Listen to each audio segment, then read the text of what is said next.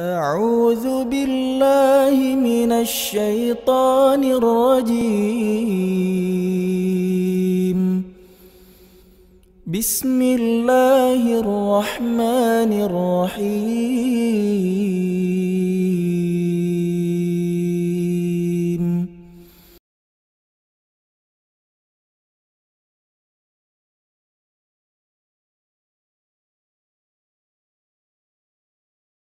السلام عليكم ورحمة الله وبركاته إن الحمد لله نحمده ونستعينه ونستغفره ونعوذ بالله من شرور أنفسنا ومن سيئات أعمالنا من يهده الله فلا مضل له ومن يضلل فلا هادي له۔ وأشهد أن لا إله إلا الله وحده لا شريك له۔ وأشهد أن محمدا عبده ورسوله. يا أيها الذين آمنوا اتقوا الله حق تقاته ولا تموتن إلا وأنتم مسلمون. يا أيها الناس اتقوا ربكم الذي خلقكم من نفس واحدة وخلق منها زوجها وبث منهما رجالا كثيرا ونساء. واتقوا الله الذي تساءلون به والأرحام. إن الله كان عليكم رقيبا. يا أيها الذين آمنوا اتقوا الله وقولوا قولا سديدا. يصلح لكم أعمالكم ويغفر لكم ذنوبكم. ومن يطع الله ورسوله فقد فاز فوزا عظيما. فأعوذ بالله السميع العليم من الشيطان الرجيم. من همزه ونفخه ونفسه بسم الله الرحمن الرحيم.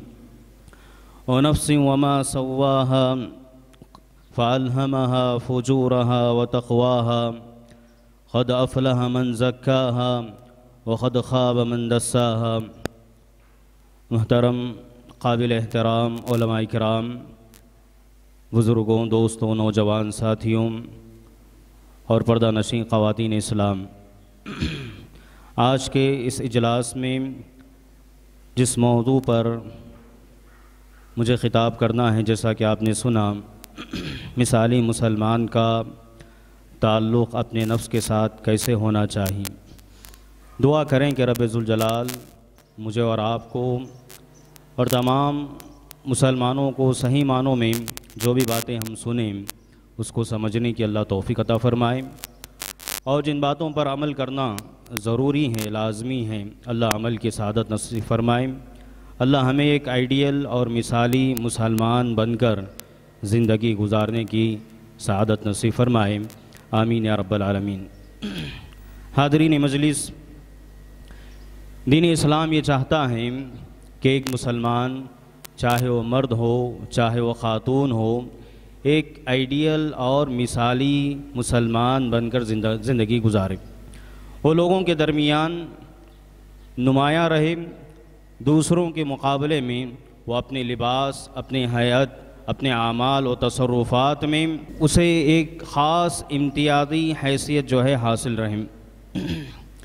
اور وہ اللہ رب العالمین اور پیارے نبی صلی اللہ علیہ وسلم کا پسندیدہ ہونے کے ساتھ ساتھ اپنے معاشرے کے لیے، اپنی سوسائٹی کے لیے وہ ایک اہم اور مفید رکن بن کر زندگی گزارے اور اسی طرح وہ اسلام کا محبوب اور پسندیدہ ایک ایسی شخصیت، ایک متوازن شخصیت بن کر زندگی گزاریں جو پورے جہاں کے لیے جو ہے مفید اور کارآمد رہیں۔ ایسا نہ ہو کہ جو رضائے الہی حاصل کرنے کے لیے اس کی تلاش میں رہبانیت کا مرتکب ہو جائیں، دنیا سے کٹ کر صرف اللہ کی عبادت میں لگا رہیں، اسلام یہ بھی نہیں چاہتا۔ اسی طرح وہ اپنی عبادت میں اتنا مگن بھی نہ رہیں کہ اس کو اخلاقیات اور اللہ کے دیگر بندوں کے حقوق کا کوئی پاس و لحاظ بھی نہ رہے۔ اسی طرح وہ اپنی ظاہری شکل و صورت اور اپنی جو ہے ظاہری روحانی تسکین کے سلسلے میں اسی طرح ظاہری جو بھی زینت انسان اختیار کرتا ہے، اس میں اتنا مگن نہ رہے منہمک نہ رہے کہ اس کو اپنے اہل و عیال، بیوی بچوں کا، اپنے والدین کا، اپنے خاص رشتہ داروں کا اور اپنے معاشرے اور سوسائٹی کا کوئی خیال بھی نہ رہیں اور اس سے بالکل دور نکل جائے اسلام یہ بھی نہیں چاہتا، بلکہ اسلام یہ چاہتا ہے کہ جسم اور روح کا جو توازن ہے وہ برقرار رہے۔ توازن یہ بالکل برقرار رہے اور مسلمان جو ہے اس وقت تک اسلام کا مطلوبہ اور مثالی مسلمان مرد مومن نہیں بن سکتا جب تک کہ وہ ان تمام چیزوں میں اور آگے جن چیزوں کا ذکر ہوگا اس میں توازن برقرار رکھیں۔ لیکن آج افسوس کے ساتھ یہ کہنا پڑتا ہے۔ افسوس کے ساتھ یہ کہنا پڑتا ہے کہ آج مسلمان بس بدقسمتی سے جو ہیں اس توازن کو آج مسلمان کھوئے ہوئے ہیں۔ تو آئیے اس تمہیدی کلمات کے بعد میں اپنی اصل موضوع پر آتا ہوں۔ ہم اور آپ جانتے ہیں۔ کہ انسان کا جو نفس ہے، وہ تین چیزوں سے مرکب ہے۔ انسان کا نفس تین چیزوں سے مرکب ہے۔ سب سے پہلی چیز، انسان کا اس کا اپنا جسم۔ دوسری چیز، انسان کی عقل ہے۔ اور تیسری چیز، انسان کی روح ہے۔ اس جسم میں ایک روح انسان کی ہے۔ تو ان تینوں کے سلسلے میں شریعت اسلامیہ نے، اللہ رب العالمین نے، پیارے نبی صلی اللہ علیہ وسلم نے ہمیں چند ہدایات دیے۔ اور چند احکامات ہم پر عائد کیے ہیں، جن کا جاننا، جن کا سمجھنا اور جن پر عمل کرنا ہر ایک پر ضروری ہے اور اگر ہم صحیح معنوں میں، صحیح معنوں میں اگر ان چیزوں کو ہم سمجھیں اور ان کے عملی تقاضوں کا اگر پورا کریں، تو انشاءاللہ ہم ایک مثالی مسلمان جیسا اللہ رب العالمین چاہتا ہے۔ اللہ رب العالمین کو جو پسند ہے، ایک مثالی مسلمان بن کر ہم زندگی گزار سکتے ہیں۔ سب سے پہلے جسم کے سلسلے میں ایک مثالی مسلمان کو ہمیشہ فکر ہونی چاہیے اور وہ فکر کرنا چاہیے کہ اس کا جسم جو ہے مضبوط رہے، اس کو طاقت حاصل ہو اور اس سلسلے میں اس کے لیے ضروری ہے کہ وہ اعتدال کو اپنائیں اعتدال کی راہ اپنائیں درمیانی میانہ روی کو اختیار کریں نہ غلو کرے، افراد کرے، حد سے آگے بڑھے، نہ کوتاہی کریں کہیں ایسا نہ ہو کہ اس کا جسم جو ہے کمزور ہو جائے۔ اس سلسلے میں ایک مثالی مسلمان کا ایک کردار ہونا چاہیے کہ وہ عام لوگوں کی طرح کھانے پینے کے سلسلے میں حریص اور لالچی نہ ہو، کھانے پینے کی چیزوں پر ایسے ٹوٹ نہ پڑے جس طرح ایک عام انسان ٹوٹ پڑتا ہے۔ بلکہ وہ ایک مثالی زندگی گزارے۔ اسلام کو جو پسند ہے کہ وہ کھانے پینے کی چیزوں میں ایک تو حلال چیز کا استعمال کریں اور اتنا استعمال کرے جس سے اس کی کمر سیدھی رہ سکیں نہ زیادتی کریں اور نہ ہی کمی کرے۔ اگر انسان کھانے پینے کی چیزوں میں اگر کمی بھی کرے گا تو اس کا جسم کمزور ہو سکتا ہے۔ اسی طرح اگر زیادتی بھی کرے گا تو اس کو، اس کے جسم کو مختلف بیماریاں لائق ہو سکتی ہیں۔ اور اس سلسلے میں اللہ رب العالمین کا وہ ارشاد ہمیشہ اپنے ذہن میں رکھے جو ایک اصول کی حیثیت رکھتا ہے۔ اللہ رب العالمین نے فرمایا وہ کولو وشربو ولا تصرفو انہو لیکن اسراف نہ کرنا، حد سے آگے نہ بڑھنا، یقیناً اللہ رب العالمین حد سے آگے بڑھنے والوں کو پسند نہیں فرماتا ہے۔ اور اسی طرح پیارے نبی صلی اللہ علیہ وسلم نے فرمایا کہ آدمی کے لیے اتنا کافی ہے کہ وہ اور اللہ کے نبی اس حدیث کے جو الفاظ ہیں، ابتدائی الفاظ، پیارے نبی صلی اللہ علیہ وسلم نے کہا کہ انسان نے سب سے برا برتن اپنے پیٹ سے زیادہ کسی کو نہیں بھرتا انسان۔ پیارے نبی صلی اللہ علیہ وسلم نے کہا کہ آدمی کی زندگی گزارنے کے لیے چند لقمے کافی جس سے اس کی کمر سیدھی رہیں اللہ کے نبی صلی اللہ علیہ وسلم نے کہا، اگر کبھی اس کا نفس اس پر غالب آ جائے، کھانے کی اس کی خواہش ہو، تو انسان جو ہے اپنے کھانے کے سلسلے میں اپنے جسم کے تین حصے کرے۔ ایک تہائی حصہ کھانے کے لیے ہو اور ایک تہائی ون تھرڈ حصہ پینے کے لیے استعمال ہو۔ اور تیسرا حصہ سانس لینے کے لیے ہو لیکن آج اس حدیث پر غور کریں اور اپنی زندگی کا جائزہ لیں۔ کیا ہم اس حدیث پر عمل کرتے ہیں؟ خاص طور سے کبھی فنکشن ہو، دعوت ہو، چاہے دعوت نکاح ہو، ولیمے کی دعوت ہو، کوئی بھی دعوتیں ہوں یا گھر میں بھی اچھا پکوان پکتا ہو، جب ہمارا نفس چاہتا ہے کہ ہم کھائیں اچھا کھائیں۔ اللہ کے نبی صلی اللہ علیہ وسلم اس حدیث پہ غور کریں، پیارے نبی صلی اللہ علیہ وسلم نے یہ بتلایا ہے، جب اس کا نفس اس پر غالب آ جائے تب اللہ کے نبی نے کہا کہ تین حصے بنائیں۔ لیکن ہمارا معاملہ کیا ہے کہ روزانہ ہم عدم توازن کے شکار روزانہ جس طرح چاہے ہم کھاتے ہیں، جس کی وجہ سے آج اتنے بیماریاں بیماریاں ہم اپنے معاشرے میں، اپنی انفرادی اجتماعی زندگی میں ہم دیکھتے ہیں۔ اور آج دیکھیں گلی گلی میں آج ہاسپٹلس قائم کلینک قائم اور آج کتنی دوائیاں ہمارے باپ دادا نے وہ ان دوائیوں کے نام بھی نہیں سنے تھے۔ یہ تمام چیزیں کیوں ہیں؟ شریعت کی اس اصول کی پابندی اور اس اصول کو نہ ماننے، اس کو نہ تسلیم کرنے اور اپنی عملی زندگی میں نہ اپنانے کی وجہ سے۔ سعودی عربیہ کا ماحول دیکھیں، وہاں پر غذاؤں کے طور پر جو چیزیں استعمال کی جاتی ہیں، اور ہندوستان کا ماحول دیکھیں، یہ تیل، یہ مسالے یہ تمام چیزیں جس میں کوئی جسم کا کوئی فائدہ نہیں۔ اس کا استعمال کر کے ہم کتنا نقصان اٹھاتے ہیں۔ اس کے لیے بھی پیسہ خرچ کرتے ہیں۔ جب بیمار ہوتے ہیں تو ڈاکٹر کے پاس بھی جا کے ہزاروں روپے خرچ کرتے ہیں اور پھر یہ ان چیزوں، کھانے کے، ان چیزوں کا استعمال کرنے کے ساتھ ساتھ مختلف قسم کی دوائیاں بھی استعمال ہمیں کرنا پڑتا۔ اور اس سلسلے میں عدم توازن کے ہم شکار ہیں۔ اللہ ہمیں صحیح توفیق عطا فرمائے۔ اور اسی طرح ایک مثالی مسلمان اپنے دن و رات کا ایک ٹائم ٹیبل وہ بناتا ہے۔ اس کا سونے کا، اس کا بیدار ہونے کا ایک خاص وقت ہوتا ہے۔ اسلام نے ہمیں سکھایا کہ جلد سے جلد ہم سونے کی کوشش کریں۔ پیارے نبی صلی اللہ علیہ وسلم، صحابہ کرام، رات کے اول وقت میں عشاء کی نماز پڑھنے کے فوراً بعد سویا کرتے تھے۔ اور فجر سے پہلے اللہ کے نبی صلی اللہ علیہ وسلم بیدار ہوتے تھے۔ اللہ کے نبی صلی اللہ علیہ وسلم نے کہہ کر اور آپ صلی اللہ علیہ وسلم نے عمل کر کے پیارے نبی صلی اللہ علیہ وسلم نے اس امت کو ترغیب دلائی۔ تو ایک مثالی مسلمان کے لیے ضروری ہیں۔ اگر وہ چاہتا ہے کہ اس کا جسم طاقتور رہے، مضبوط رہے اور جسم کو کوئی ایسی بیماری لائق نہ ہو، جیسا کہ آج ہمارا معاملہ ہے، خاص طور سے ہمارے نوجوانوں کے سلسلے میں میں یہ کہوں گا کہ رات میں دیر تک ہم جاگتے ہیں۔ رات میں دیر تک، بارہ ایک بجے تک، دو بجے تک، کبھی تین بھی بج جاتے ہیں۔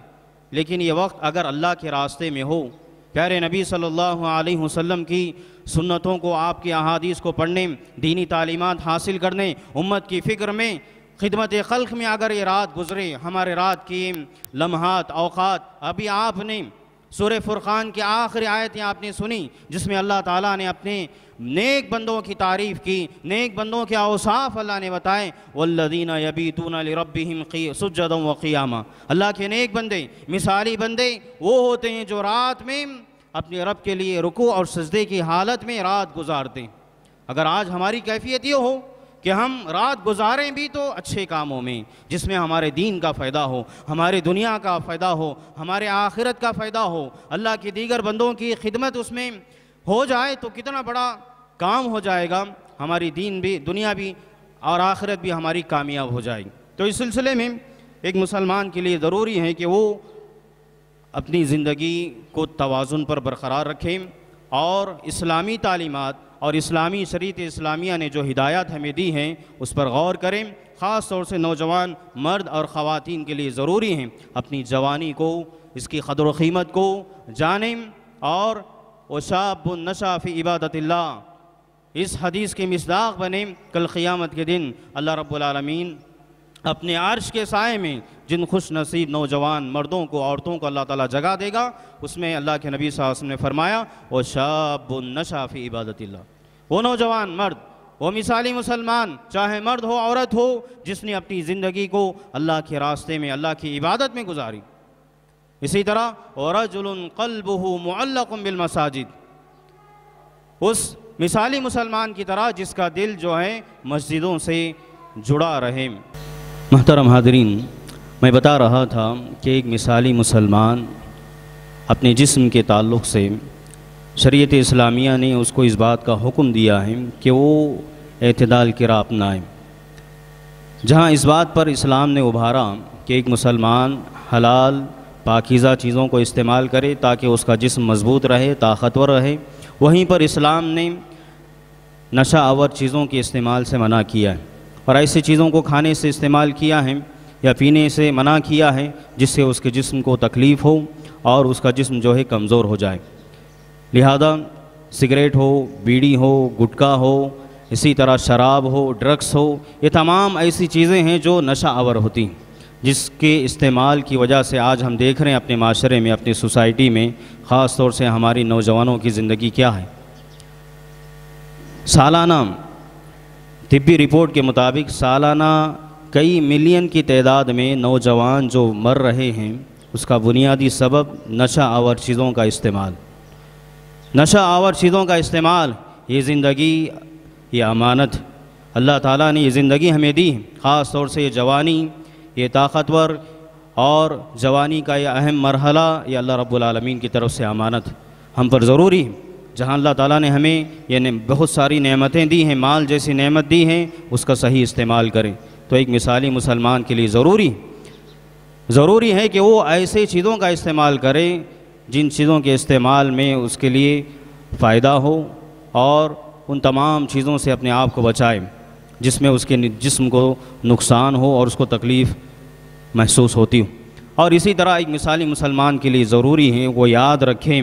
اللہ کے نبی صلی اللہ علیہ وسلم نے فرمایا، المؤمن القوی خیر و حب اللہ من المؤمن الضعیف.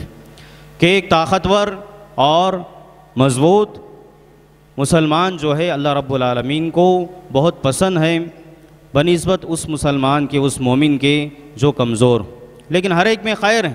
لیکن جو طاقتور ہیں جسمانی اعتبار سے، جو اپنی طاقت کو اسلام کی نشو و اشاعت کے لیے، اللہ کے بندوں کی خدمت کے لیے اور دینی کاموں کے انجام دینے کے لیے اپنی طاقت کو صرف کریں، ایک مثالی مسلمان کے لیے ضروری ہے کہ اس حدیث کو بھی اپنے سامنے رکھیں اور اس حدیث کے تقاضوں کو پورا کریں۔ اسی طرح ایک مثالی مسلمان کے لیے ضروری اپنے جسم کو تقویت پہنچانے کے لیے وہ جسمانی ورزش بھی کریں۔ جسمانی ورزش بھی کریں۔ اسلام نے گھوڑ سواری پر تیر اندازی پر اور تیراکی پر اسی طرح دوڑ لگانے پر اسلام نے ابھارا ہے۔ پیارے نبی صلی اللہ علیہ وسلم کی زندگی کا بھی جائزہ لیں اللہ کے نبی صلی اللہ علیہ وسلم نے بھی صحابہ کے درمیان ان چیزوں میں مسابقات اللہ کے نبی نے کرائیں خود عائشہ ام المومنین، عائشہ صدقہ کے ساتھ پیارے نبی صلی اللہ علیہ وسلم نے بھی دوڑ لگائی۔ دو مرتبہ، یہ پہلی مرتبہ عائشہ صدقہ آپ پر سبقت لے گئیں اور دوسری مرتبہ اللہ کے نبی صلی اللہ علیہ وسلم سبقت لے گئیں۔ تو یہ تمام جو اشارے میں کر رہا ہوں، یہ احادیث ہیں، جس کی طرف میں اشارہ کر رہا ہوں۔ تو ایک مثالی مسلمان کے لیے ضروری اپنے جسم کو تقویت پہنچانے کے سلسلے میں شریعت اسلامیہ کی ان ہدایات کو ہمیشہ ملحوظ خاطر رکھیں اور اسی کے مطابق جو ہے زندگی گزارنے کی پوری کوشش کریں۔ اسی طرح اسلام نے اپنے بدن کو، اپنے کپڑوں کو پاک و صاف رکھنے پر بھی ابھارا ہے۔ جیسا میں نے شروع میں کہا، اسلام یہ چاہتا ہے کہ مسلمان ایک مثالی زندگی بن کر زندگی گزارے۔ اور جہاں بھی میں مسلمان، مثالی مسلمان کا لفظ کہہ رہا ہوں، اس سے مراد صرف مسلمان مرد نہیں، بلکہ مسلمان عورت بھی اس میں داخل۔ مسلمان میں، لفظ مسلمان میں مرد بھی داخل ہے، عورت بھی داخل ہے۔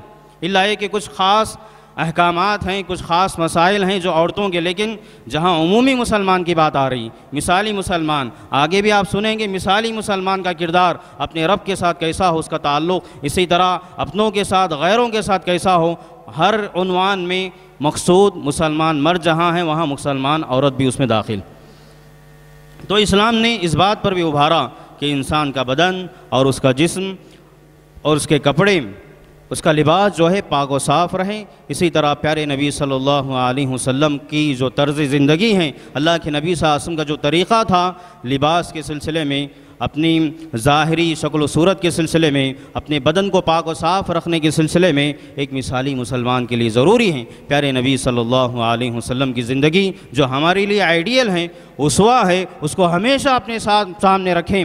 پیارے نبی صلی اللہ علیہ وسلم نے خود عمل کر کے بتایا، باوضو ہمیشہ باوضو اللہ کے نبی رہا کرتے تھے۔ مسلمان کے لیے ضروری ہمیشہ باوضو رہیں اور سنن ابن ماجہ کی روایت جس میں اللہ کے نبی صلی اللہ علیہ وسلم نے کہا، وضو کی حفاظت صرف مومن کرتا ہے۔ وضو کی حفاظت صرف ایک مومن کرتا ہے۔ اسی طرح پیارے نبی صلی اللہ علیہ وسلم نے خاص طور سے جمعہ کے دن غسل کرنے، خوشبو لگانے اور بہت سارے جمعہ کے جو آداب ہم جانتے ہیں، میں تفصیل میں نہیں جانا چاہتا، ان تمام آداب کو ہمیشہ اپنی زندگی میں ملحود رکھیں، اس پر عمل کریں۔ اور خوشبو کے استعمال پر اسلام نے اتنا ابھارا ہے، عمر بن خطاب رضی اللہ تعالیٰ عنہ کہا کرتے تھے، اگر کوئی مسلمان خوشبو عطر کے استعمال میں اپنا ایک سلس مال ون تھرڈ مال بھی اگر خرچ کریں، تو فضول خرچی نہیں کہلائی اللہ اکبر، غور کریں۔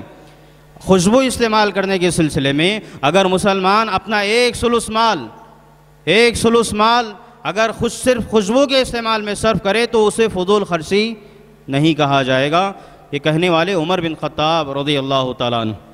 اسی طرح منہ کی صفائی، منہ کی صفائی پر بھی اسلام نے ابھارا ہے۔ اللہ کے نبی صلی اللہ علیہ وسلم کی سنت مسواک مسواک کا استعمال کرنا چاہیے۔ پیارے نبی صلی اللہ علیہ وسلم، جب بھی گھر میں داخل ہوتے، گھر سے باہر جاتے، قرآن کی تلاوت، نماز سے پہلے، وضو سے پہلے اور بہت سارے رات میں جب بیدار ہوتے اللہ کے نبی صلی اللہ علیہ وسلم، مسواک کا اہتمام کیا کرتے تھے۔ مسواک کا بھی اہتمام کرنا چاہیے۔ اگر اللہ کے نبی صلی اللہ علیہ وسلم کو جو خدشہ تھا، اگر وہ نہ ہوتا، جیسا کہ اللہ کے نبی صلی اللہ علیہ وسلم نے فرمایا، لولا ان اشق علی امتی لا امرتهم بالسواک عند کل وضو، ایک دوسرے روایت میں عند کل صلاح اگر میرے امت پر مشقت کا مجھے خوف نہ ہوتا، ڈر نہ ہوتا، تو میں ہر نماز کے وقت یا دوسری روایت میں ہر وضو کے وقت میں مسواک کا حکم دیتا۔ تو اتنا اسلام نے ابھارا ہے۔ تو ایک مثالی مسلمان کے لیے ضروری ہے کہ ان تمام باتوں کا اہتمام کریں۔ اور سابقہ جو بھی چیزیں میں نے ذکر کی جسم کے تعلق سے ان تمام چیزوں کے سلسلے میں بے اعتنائی نہ بڑھتے لیکن آج افسوس کے ساتھ کرنا پڑتا۔ افسوس کے ساتھ کہنا پڑتا ہے کہ ہم جہاں پر شادی اور ولیمے کے فنکشنوں میں تقریبات میں جاتے ہیں یا اپنے دوستوں سے ملاقات کے سلسلے میں یا سفر پر بہت زیادہ ان چیزوں کا اہتمام کرتے ہیں۔ لیکن دینی مجالس میں، علماء کی صحبت اختیار کرنے میں، اسی طرح مسجدوں میں اتنا اہتمام ہم نہیں کرتے۔ افسوس کے ساتھ کہنا پڑتا ہے، بعض ہمارے مسلمان جن کپڑوں میں سوتے ہیں، انہی کپڑوں میں نماز کے لیے آتے ہیں۔ یہ افسوس کے ساتھ ہمیں کہنا پڑتا ہے۔ ایسا نہیں ہونا چاہیے۔ بلکہ اللہ رب العالمین نماز یہ اللہ رب العالمین سے سرگوشی کا یہ ذریعہ، اہم ذریعہ ہے۔ ضرورت اس بات کی ہے کہ ہم جہاں دیگر اوقات میں صفائی، ستھرائی کا اہتمام کرتے ہیں، رب ذوالجلال سے سرگوشی کے وقت، نماز کے وقت جو ہے ہمیں ان پاکی صفائی کا خاص خیال کرنا چاہیے۔ اللہ تعالیٰ نے بھی اس بات کا حکم دیا خضو زینتکم عند کل مسجد۔ خضو زینتکم عند کل مسجد یہ اللہ رب العالمین نے کہا ہے۔ اسی طرح بالوں کو صاف ستھرا رکھنے اور اس کو پراگندہ رکھنے سے اللہ کے نبی صلی اللہ علیہ وسلم نے منع کیا ہے۔ بالوں میں اللہ کے نبی کنگھی کرنے کا آپ نے خود عمل کیا اس پر اس پر ابھارا بھی گیا ہے۔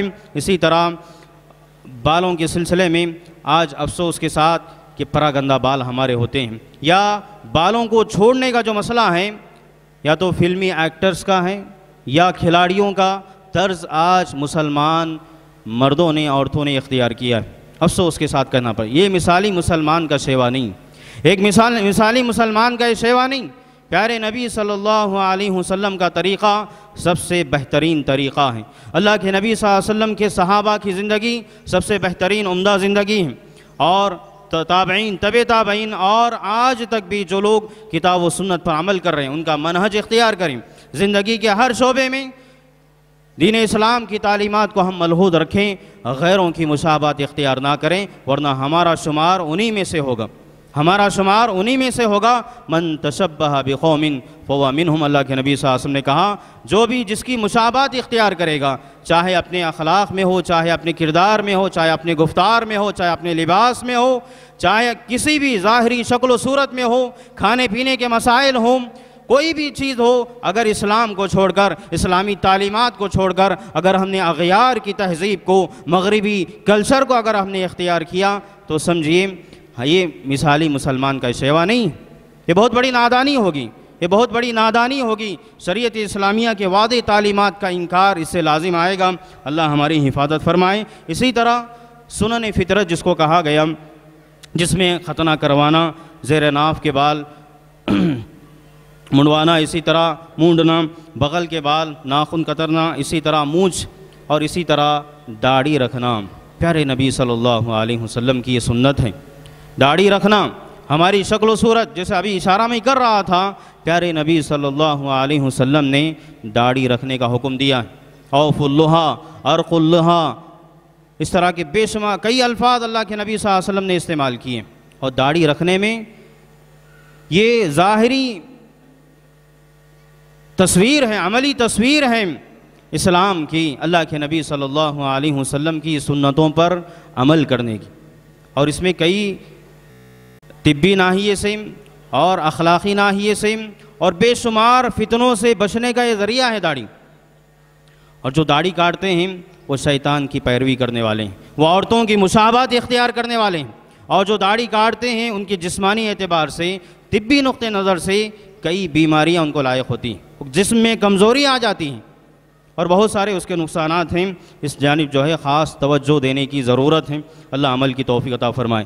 دوسرا جو نقطہ ہے جو مجھے بیان کرنا ہے، وہ ہے کہ ایک مثالی مسلمان اپنے عقل کے تعلق سے اسلام نے اس بات پر ابھارا ہے کہ انسان اپنے عقل کو شرعی علم حاصل کرتے ہوئے اس کو پروان چڑھائے۔ اپنے عقل کو پروان چڑھائیں کتاب کتاب اللہ، سنت رسول صلی اللہ علیہ وسلم کا علم حاصل کریں۔ اور اس سلسلے میں آفاق اور انفس میں اللہ رب العالمین کے مخلوقات میں اللہ تعالیٰ کی جو نشانیاں ہیں، اس میں غور و فکر کرنے کے سلسلے میں اپنے عقل کا استعمال کریں۔ اور یہ ضروری ہے۔ اللہ کے نبی صلی اللہ علیہ وسلم نے طلب العلم فریدت علی کل مسلم کہہ کر ہر مرد ہر ہر مسلمان مرد، ہر مسلمان عورت کو علم حاصل کرنے کی جانب آپ نے رغبت دلائی۔ اور اسی طرح اللہ رب العالمین نے یرفع اللہ الذین آمنوا منکم والذین اوتوا العلم درجات کہہ کر اللہ تعالیٰ نے بے شمار اجر و ثواب کی خوشخبری سنائی ہے کہ دنیا میں بھی اللہ تعالیٰ ان کی اہل علم کے علم حاصل کرنے والوں کے درجات کو بلند فرمائے گا، آخرت میں بھی اللہ تعالیٰ بلند فرمائے گا۔ اسی طرح، انما یکش اللہ من عبادہ العلماء۔ اللہ نے کہا، اللہ سے حقیقی معنوں میں، صحیح معنوں میں ڈرنے والے اللہ کے نیک بندے اہل علم ہیں، علماء ہیں۔ اس کی وجہ یہ ہے کہ علم حاصل کرنے سے انسان کی فکر صحیح ہوتی ہے۔ انسان کی فکر میں مضبوطی آتی ہے اور انسان صحیح معنوں میں اللہ رب العالمین سے علم کی کی بنیاد پر اللہ سے صحیح معنوں میں ڈرتا ہے، اللہ کے احکامات پر عمل کرتا ہے۔ تو ایک مثالی مسلمان کے لیے ضروری ہے اپنی عقل کو پروان چڑھانے کے سلسلے میں علم حاصل کریں اور علمی مجالس کا رخ کریں اور علم کا یہ سلسلہ زندگی بھر ہونا چاہیے۔ زندگی بھر ہونا چاہیے۔ یہ نہیں کہ ہم وقتی طور سے کوئی سند حاصل کریں، عالمیت کی ہو، حفظ کی ہو، فضیلت کی ہو یا دنیاوی جو بھی علوم ہیں۔ کوئی ایک ڈگری حاصل کر کے ایسے نہ بڑھ جائیں کہ ہمیں کوئی ایک جاب مل جائے، کوئی ایک منصب مل جائے، کوئی ایک کرسی مل جائے، کچھ ہمارے لیے رہنے سہنے کا کوئی انتظام ہو جائے۔ ایسا نہیں ہونا چاہیے، ہمارے اسلاف کا یہ طرز عمل نہیں رہا۔ ہمارے اسلاف کا یہ طرز عمل نہیں رہا، بلکہ امام احمد رحمۃ اللہ علیہ کا مشہور قول جو آپ نے کہا حصول علم کے تعلق سے کہا من المہد من المہدی الہدی آپ نے کہا، اور آپ ہمیشہ علمی مجالس کا رخ کیا کرتے تھے۔ بعض مجالس میں نفل عبادت کو بھی مجالس میں شریک ہونے کو مقدم کرتے، لوگ سوال کرتے، اے، آپ تو وقت کے امام ہیں، آپ تو وقت کے امام ہیں اور آپ فلاں فلاں کی مجلس میں جا کے علم، کب تک علم حاصل کریں گے؟ تو آپ نے یہی جملہ کہا، من المہدی اللہ. ماں کی گود سے لے کر قبر میں جانے تک، ماں کی گود سے لے کر قبر میں جانے تک ہمیں علم حاصل کرنا۔ روزانہ ہمارے علم میں ترقی ہونا چاہیے، اضافہ ہونا چاہیے۔ کبھی انسان پڑھیں، دوسروں سے سنیں، علمی مجالس میں بیٹھیں، اس سلسلے میں اللہ تعالیٰ سے بھی دعا کریں۔ اللہ تعالیٰ نے دیکھیے، دنیا مانگنے کا اللہ نے حکم نہیں دیا۔ اللہ کے نبی صلی اللہ علیہ وسلم کو کہا قر ربی زدنی علما جس چیز کے بارے میں اللہ کے نبی صلی اللہ علیہ وسلم کو اللہ تعالیٰ نے حکم دیا کہ یہ کہو، اے اللہ، میرے علم میں اضافہ فرما علم میں اضافہ کرنے کی دعا اللہ نے ہمیں سکھلائی۔ تو یہ دعا کا اہتمام کرنا چاہیے اور اللہ سے علم نافع مانگے۔ اس سلسلے میں علماء کے بھی بہت سارے اقوال ہیں۔ ابن عبدالبر رحمۃ اللہ علیہ نے ابن ابی غسان کا قول نقل کیا ہے۔ آپ نے کہا کہ جب تک تم علم حاصل کرو گے تم صاحب علم رہو گے اور جب تم نے اپنی زندگی میں علم کو چھوڑ دیا، علمی مجالس کو چھوڑ دیا، تم جاہل کہلاؤ گے اسی طرح امام مالک رحمۃ اللہ علیہ سے بھی یہ مروی ہیں آپ نے کہا کہ ایسے آدمی کے لیے جو صاحب علم ہے اس کے لیے مناسب نہیں ہے کہ مزید علم حاصل کرنے کو چھوڑ دے؟ مزید علم حاصل کرنا چاہیے جو اس کے لیے اس کے دین اور دنیا کے سلسلے میں کارآمد ہو۔ اسی طرح عبداللہ بن مبارک رحمۃ اللہ علیہ سے پوچھا گیا الا متا تطلب العلم؟ کہ کب تک آخر آپ علم حاصل کریں گے؟ تو آپ نے کہا حت الممات۔ حت الممات۔ آپ نے کہا، موت تک۔ میری موت تک میں علم حاصل کروں گا۔ پھر کہا، لعلی ولعل الکلمہ التی انتفی و بہا لم اکتبہ بعد۔ آپ نے کہا، شاید وہ کلمہ جو میری زندگی میں مجھے نجات دلا سکے، میرے زندگی میں کارآمد ہو سکے، دنیا آخرت میں مجھے کامیاب کر سکے، شاید وہ کلمہ ابھی باقی ہے جس کو میں نے حاصل نہیں کیا۔ اللہ اکبر۔ یہ وقت کے بڑے بڑے امام تھے، وقت کے محدث تھے، وقت کے بڑے مفسر تھے، دین کو جاننے والے ان کا یہ حال ہے تو بتائیے ہم اور آپ کا کیا ہونا چاہے جن جو ہم نے چند کتابیں، ایک سلیبس ہم نے حاصل کیا، ہم سمجھتے ہیں کہ ہم بڑے بن گئے۔ نہیں، بلکہ علم علم حاصل، علم کی کوئی لمٹ نہیں۔ زندگی بھر بھی اگر انسان علم حاصل کریں سمندر میں سے چند خطرے لینے کے مترادف۔ زندگی بھر علم حاصل کرنا چاہیے۔ اور خاص طور سے میں نے کہا، دین علم، کتنی مہارت حاصل ہو ایک مثالی مسلمان کے لیے؟ اس سلسلے میں علماء نے بہت ساری باتیں لکھی ہیں۔ سب سے پہلے ایک مسلمان کے لیے ضروری ہے اور میں تمام والدین سرپروسوں سے کہوں گا، اپنے بچوں کو سب سے پہلے کتاب اللہ کی تعلیم دیں۔ کتاب اللہ کی تعلیم سے اس کی زندگی کا آغاز کریں۔ اسکولوں کو بھیجنے کے بجائے ماں کی گود جو سب سے پہلا مدرسہ ہے، ماں ایک ایسی ماں کا انتخاب کریں جو دینی علوم سے واقف ہو۔ اس کے پاس بچہ پڑھیں۔ دو فائدے ہوں گے۔ ماں سے محبت بھی بڑھے گی۔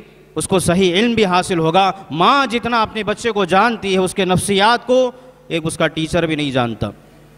آج افسوس ہے کہ اسکولوں کالج بھیجیے، لیکن کچھ وقت ماں بھی اپنے بچوں کے لیے نکالیں۔ والد کے لیے بھی ضروری ہے۔ ایک مثالی مسلمان باپ کے لیے بھی ضروری ہے۔ اپنے بچے کو کچھ وقت دیں، اس کو سکھائیں۔ جیسا کہ علی بن عبد طالب رضی اللہ تعالیٰ عنہ نے کہا، سات سال تک بچے کے ساتھ کھیلو۔ وہ کھیلنے کا دور ہوتا ہے۔ باپ جو ہے بچے کو لے کر کھیلیں۔ پھر سات سال تک کہا، اس کو اپنے ساتھ رکھیں۔